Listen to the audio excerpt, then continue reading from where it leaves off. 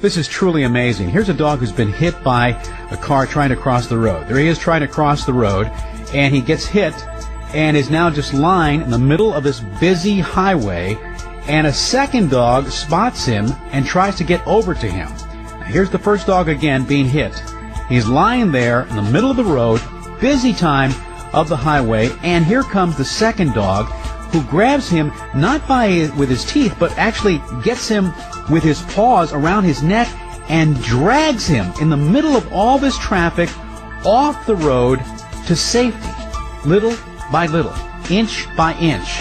Finally, some workers spot the dogs and come over and help them.